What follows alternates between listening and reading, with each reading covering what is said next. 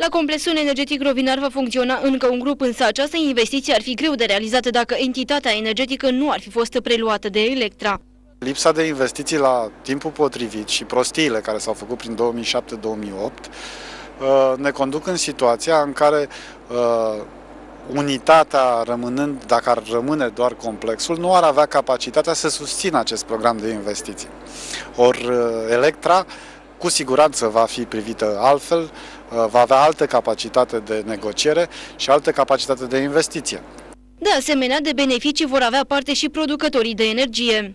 Vorbim în primul rând de faptul că piața energetică la momentul actual sau sub forma aceasta nu este funcțională, permite câștiguri foarte mari ale traderilor și producătorii rămân cumva în urmă, pe de o parte.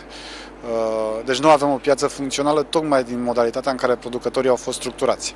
Marcel Hoară menționează faptul că cei 4.000 de angajați ai complexului Rovinar nu își vor pierde locurile de muncă în urma integrării în cadrul companiei Electra.